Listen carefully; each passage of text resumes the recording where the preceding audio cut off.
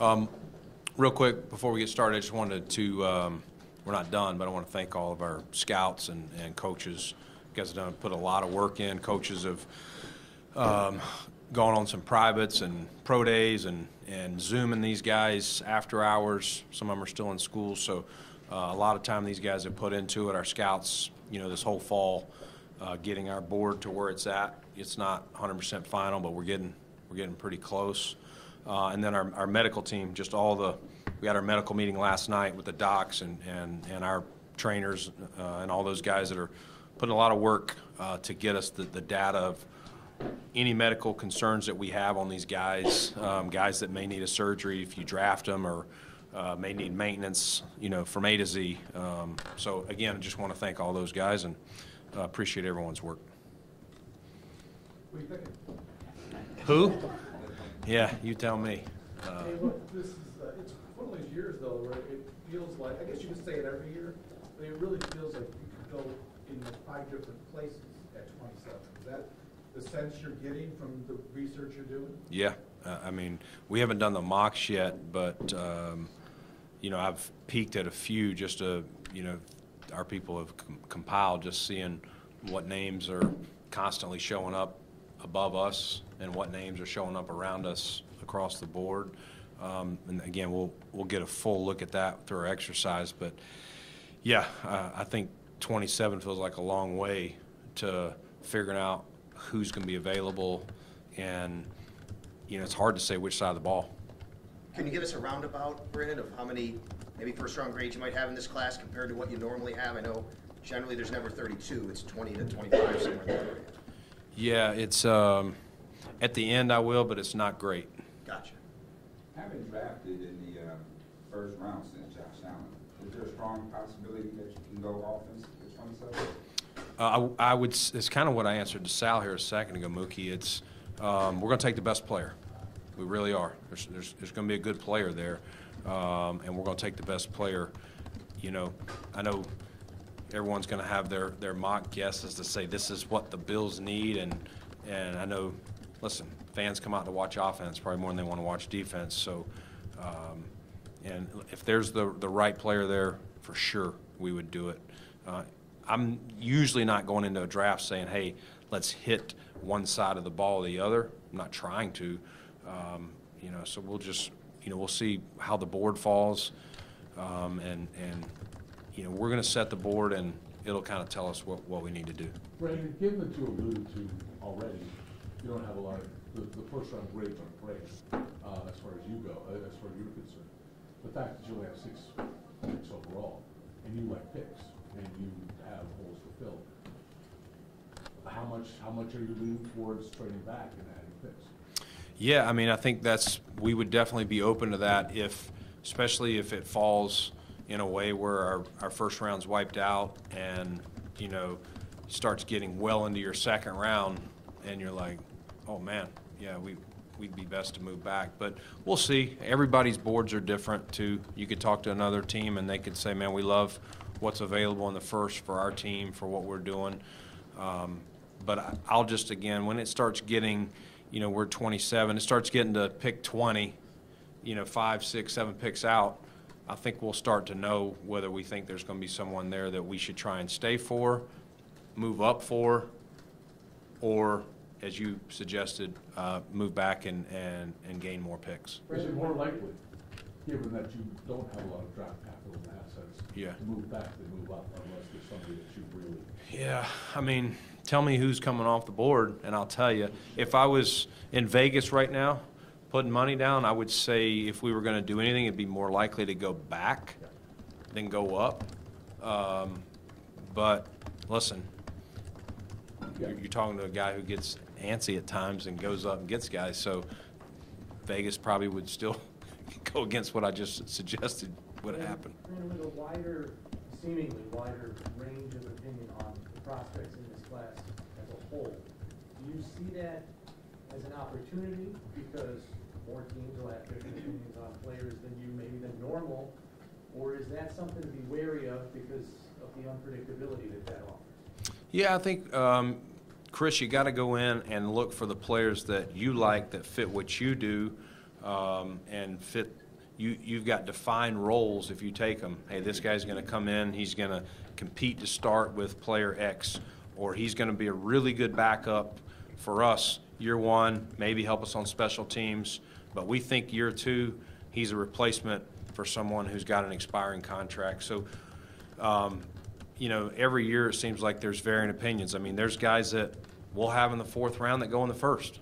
They're better fits for someone else, maybe as a skill set, maybe there's some medical concerns, maybe personality. We just, it's not the type of person that we want to deal with. So um, we kind of set the board just for us and go. But no, I think, I think as the draft goes down, it's, it starts getting, there's, there's some depth. It's just not as high. It's, it's, it's more a little bit later. Do you feel like, I mean, obviously you addressed, you've made a lot of moves, uh, signed a lot of people. Yeah. Um, If the draft goes badly at a position, like there's a run in the first round and second round, do you feel like you have covered your spaces to the point where you don't absolutely have to pick position X? Yeah, I feel, I feel we've done a pretty good job of filling enough of the holes, whether it's starters or good backups, to where we, maybe we don't have a sheer starter, but we got, you know, several people to compete, two, three. Um, you, you know, again, is it perfect? No, but um, I think there's enough guys that we could go line up and play football right now, would be my answer, Mark, and, and hopefully we'll add some more competition and depth. You talked week. about, I'm sorry, No, you're Brandon, good. uh, picking guys who, and then maybe you project them in year two and what they can do. When you have guys that you picked who maybe didn't get as many snaps in the offense or the defense last year, say Bernard or Shakir or whoever it happens to be, when you're trying to project them for this year, how much of that is based on the tape that they actually played and then maybe conversation with the coaches, going looking back at other things where you're saying, this is a young guy going in that year two and what we project him into doing this year for you? That's exactly the conversation we have is, um, what do we see year one? Um, what does, what do, what do we need to see from him in year two? And do we think it's there or do we say, hey, and if, if, if, if we still think the player needs to, um, improve on the one area why he didn't get as much playing time last year, we've communicated that to the player and said, hey, this is what we want you to work on this offseason, come back and show us this.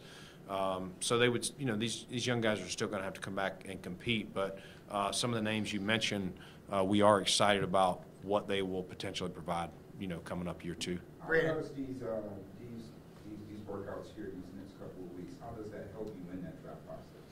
How does that help you evaluate? You talking about our guys? Yes. Yeah, not, not a lot. Um, You're not, you're not playing football, it's just working out. So we kind of are more going on, they, they just have to, we have an idea of what we think they will be in year two.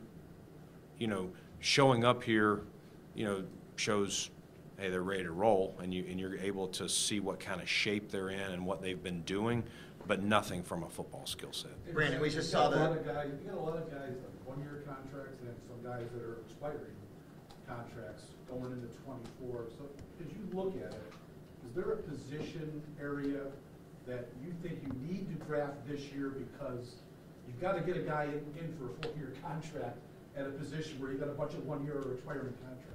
Yeah, I mean, the one position that we don't have a lot on the future is D tackle. We, we- we don't, uh, at this point. You know, Ed's going into his last year, Daquan's going into his last year, Jordan was a one-year deal, Tim Settle, um, last year. So, um, if you were, you know, poking at something that, you know, the Bills would need to keep an eye on, that would probably be where you'd start. What about safety? Is that, is that, I mean, Jordan's two years, Yeah. you've got Rapp, you've got Hyde expiring, Lamar's future. Is that another area you, you got? Yeah, I think, I think that one, um, we'll see, uh, for sure, and we, again, we'll, if, if there's a guy that we can add, um, we definitely would, but, um, we feel good with, with Jordan, Micah, adding Taylor in. Um, Damar, you know, is, is prepared to come back and, and, and play, and, and we got some other guys there. So, yeah, if there was the right player, we'd take him, though, Sal. It's not that we're saying, boxes check, we're ready to roll. Uh, Brandon, just to follow, follow up on what Sal just asked about Damar, you say he's preparing to play. Where are you guys at in that stage? If you can give us an update on maybe what the medical is telling you and where that's going, and also where Von Miller is in his rehab.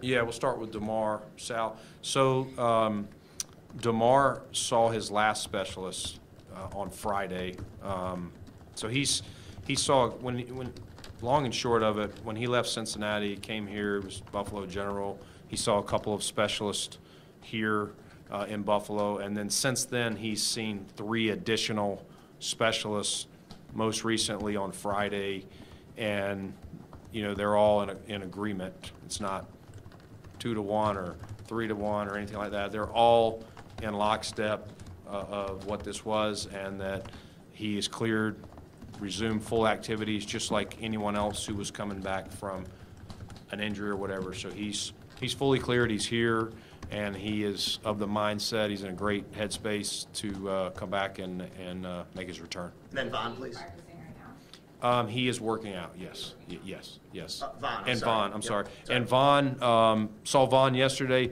uh, didn't get to talk to him long, but gonna follow up with him this week, but he, he looks good. Um, you know, I have not asked the trainers specifically where he's at, like on this day, but, um, we'll get a good idea this week, uh, of where he's at and no timetables at this point, even if I knew specifically before I walked in here exactly where he's at. But I know he's, um, he's been rehabbing hard, everything's gone as planned, and, you know, we'll, we'll see. I don't think there's gonna be a timeline until we get to training camp of, you know, is he ready at camp or is he start on pup and, and kind of take it from there. One more, sorry, one more clarification on Damar. Is there anything internally that still needs to happen for him to be cleared? Because I know it was like all the outside specialists first and then you guys checking off on that. Like, are there any more steps or is he good to go? No, this is one of those things that's, uh, it's not our expertise, you know, our medical team that we have on staff for, for what his, his situation was. So we basically are following the lead of them. If they say he's cleared and, but we did, this is something, it's not new. I mean, it's not, uh, it is new. It's not something we're used to. So it's one of those where Nate Breske went, you know, with him on all his trips, just to hear, make sure we're hearing exactly. And, and then those findings were also communicated back to our medical doctors as well. So he's clear as far as you're concerned. He is cleared. Brandon, just one more on Damar, or on this, just, that's from a physical health perspective, and I think there's also the mental Yep. health component that obviously in January, that was talked about a lot with like, the players and everyone here, but making sure that Damar's okay in that perspective, I guess, how important is that? And obviously, that's something that like, this, me- you know, that's outside of the physical part, is that mental part, making sure he's okay to return. Yeah, that's a huge part, like anything. You're, you know, anytime you're coming back from any injury, much less uh, something that was life-threatening. So yes, um, that's, that's always an ongoing type thing, and, and we will, we'll put all the resources that he needs, you know, for that. Brandon has um, Stefon Diggs reporting for, I know it's voluntary, for um, these workouts, and second part of that question is, you said at the end of the season, you let the guy get away, and then, you know, checking with them as the offseason goes along. Have you had any conversations with him if he's not here, and uh, how it goes on? Um, What I'll say is, Matt, he's, um, he was not here yesterday. I'm not sure about today. Uh, have not seen him or heard that he's here. Um, You know, I'll keep, you know, our contact and communication, I'll keep that, you know, between us. Brandon, when you were talking earlier about, you know, feeling good kind of at each group, at least with the guys you have, what makes you confident in everyone you have at linebackers moving forward without Tremaine? And you mentioned like those conversations, the guys stepping up, what have those been like with that group in particular? Yeah, I mean, I think we got some, you know, we got some young guys that have waited their turn and their opportunity. You know, start with Tyrel Dodson's been here for a while in our system, knows it, and I think he filled in ab- admirably, you know, when Tremaine missed time. And so I think he'll have that opportunity. Um, the two guys we drafted last year in, in Bernard and Spector have, you know, Spector's been here the whole offseason. You know, Terrel just got back, but uh, those guys, young players that, you know, have good upside and, w- and will have that opportunity. And then, you know, we bring back an AJ Klein as well, who's, who came in and, and you guys are familiar with AJ and, and our history with him. So I think between all those guys, we feel good that, that we have that covered. Brandon, how often would you say that it happens where you reach into a round, you know, say you stay at twenty-seven, but you're, you're out of first rounders on your board, but you gotta take somebody because you can't move down. Yeah. So you're taking a player with a second round grade there. How often would you say that happens versus the inverse happening, where maybe you're in the fifth or sixth round and you had, you get a guy who you maybe had a fourth round grade on? Do those two things maybe balance out in your mind? Because I would imagine it happens quite a, quite a bit. Yeah, spot on, uh, Jay. A lot of times, if you're picking at the bottom of the round, a lot of times you're gonna be picking in, in your second round. You really are. Um, And then on the inverse of that, at the, at the bottom of the round, a lot of times, you know, we had a, you know, I know Shakir and, and Benford, I'd have to think of who all we took, but we had higher grades on them than where we got them. It just, as the draft starts to fall, people start to pick for various needs, guys they had targets, guys that are gonna play a specific role for, for their team, especially when you get on defense, you know, between three, four and four, three, you know, some guys just don't fit, um, you know, a classic three, four, five tech doesn't necessarily fit in our defense, and, you know, these pass rushers, you know, you, are they a DPR in our system? These stand-up outside backers, you know, Von's one of those guys that's a rarity that can play in a three-four or a four-three. Um, You know, he's probably more three-four, but he's played in, in both and, and, and done well. But you get into those parts of the draft where people are starting to target certain positions, certain types of players. And so you are able to sometimes find guys in the fifth round that you had maybe a late third or, or early fourth on. Following on that, does the philosophy change? If you're at the end of the first round and you're going to take somebody who's got a second round grade, are you now searching for somebody who has more upside that maybe would be worth it? Or are you taking the more sure, sure thing?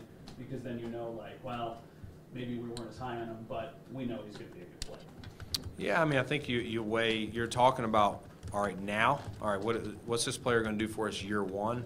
And then you, take somebody, you know, a second round player generally is gonna be someone who you, okay, they're not necessarily gonna start now, but it's someone you think in time will start, hopefully by year two, you know, if they're healthy and, and everything's, you know, going as planned. But, um, I think you're just looking at, you're talking about upside, uh, fail factor, like what's the difference? It, it, you'd have to give me the two players for me to, does that make, that make sense, Matt? But yeah, you're, you're gonna look at everything. We've generally weighed that out when we build the board to, is this guy at the very top of two? Or is he, you know, there's a, there can be quite a difference in a, in the top of two player versus the, the bottom of two.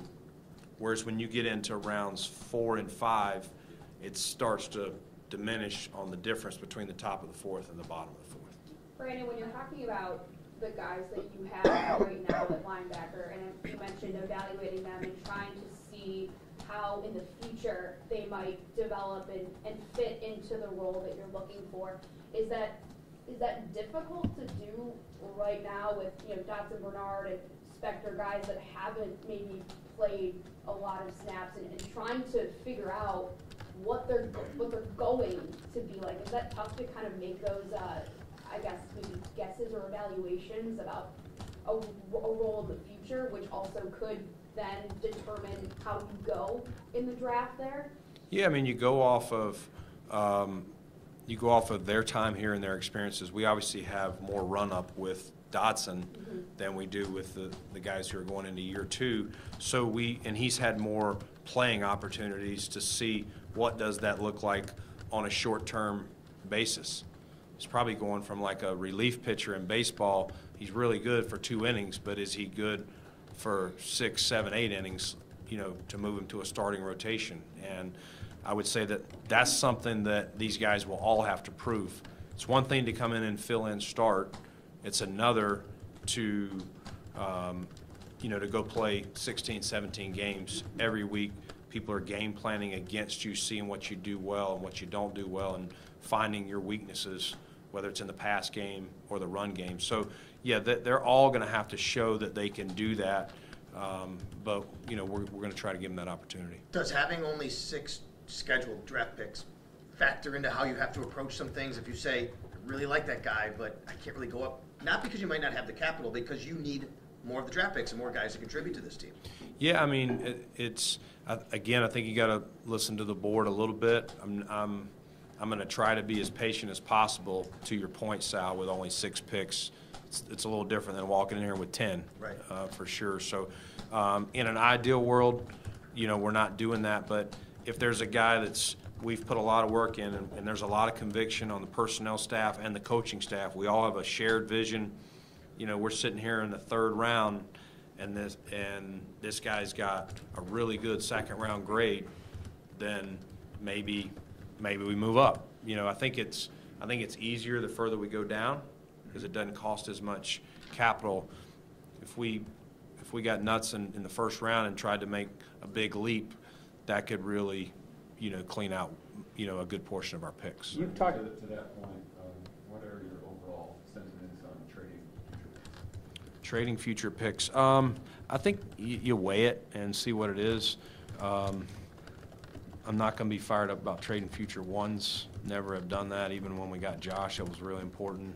Um, And so again, the later in the draft, I'd be okay doing that. I feel like we could find a way to get those back, you know, with maybe trading guys at the end of camp, you know, if you're talking about fifth, sixth, seventh round, but, um, you know, I wouldn't be fired up to trade Thursday or Friday picks, like the first and second, and third.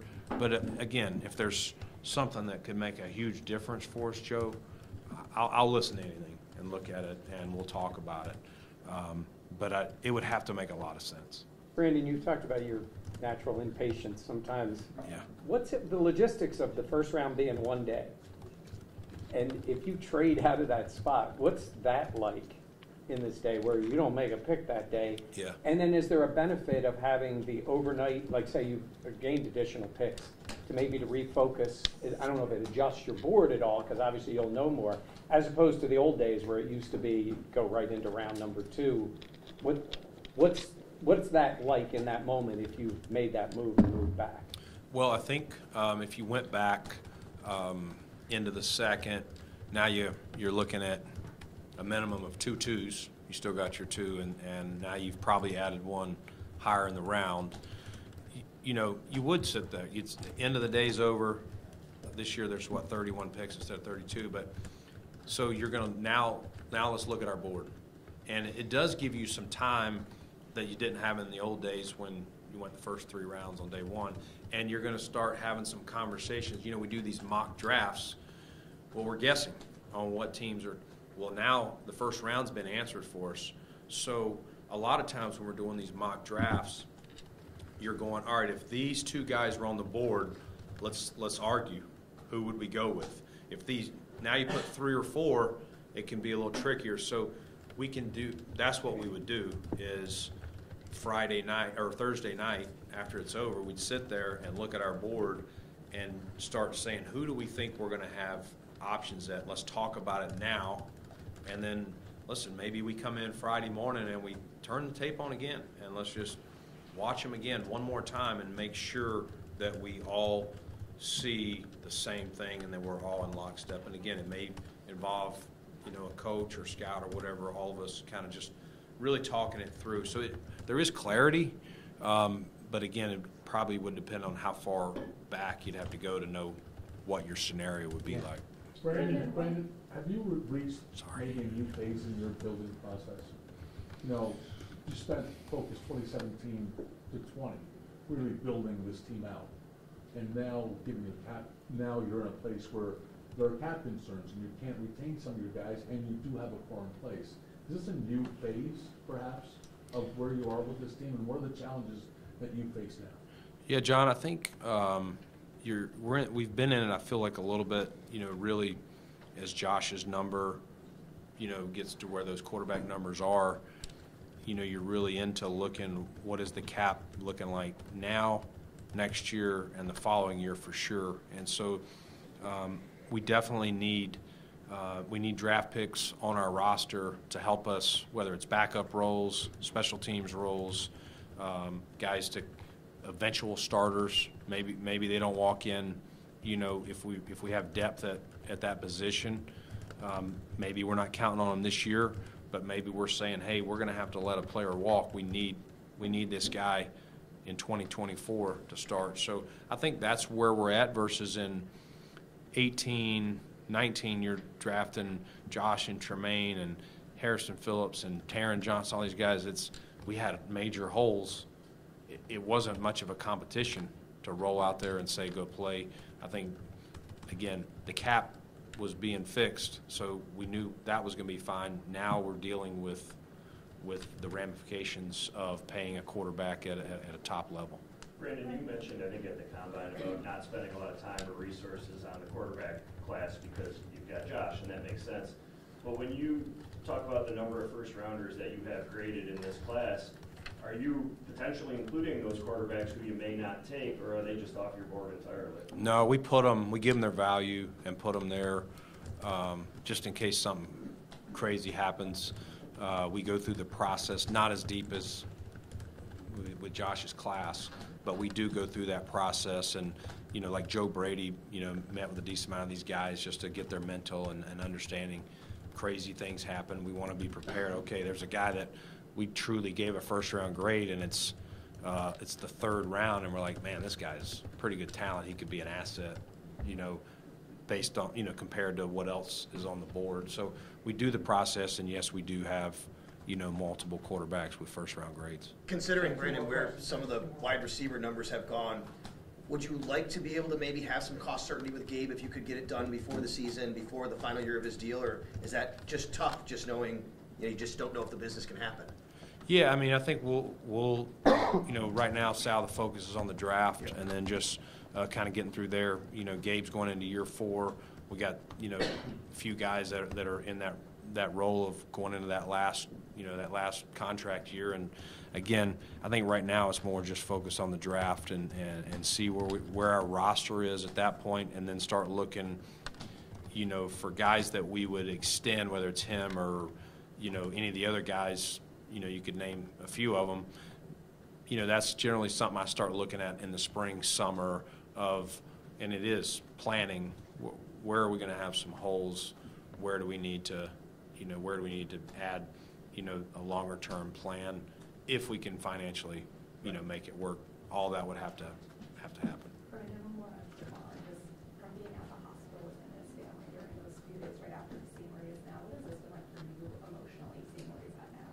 Oh man, uh, that's that's tough. It's uh, he's one of those just it's such a great kid, such a great family, um, and it's it's exciting to that you know to go from a guy who was fighting for his life to is now um, you know his story hasn't been written. Is, you know now it's about the, the comeback, and and so to see that he you know it was all about his health, and it's still it's always going to be about his health, but um, to truly you know however many months later be talking about he's been fully cleared um, is pretty remarkable, and um, you know I'm excited for him and his family at, at where they are in this journey. Thank you.